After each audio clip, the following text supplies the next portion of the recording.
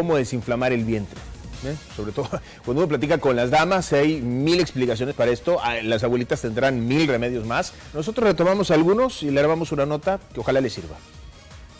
Desinflamar el vientre y bajar de peso resulta una tarea difícil para muchos, pero lo que quizá nadie se pregunta es por qué este proceso tarda más de lo que queremos. Según expertos, para lograr la reducción de peso es importante que además de cambiar sus hábitos alimenticios, limpie su colon. Algunas investigaciones afirman que cuando el colon no funciona correctamente, los desechos y toxinas se quedan estancadas ahí y generan diversos problemas como estreñimiento, diarrea, fatiga, indigestión y estrés. Además, aseguran que la inflamación abdominal puede ser producto de una mala alimentación. Comer demasiado rápido puede generar exceso de gases y la excesiva tensión puede ser causada por la falta de fibra.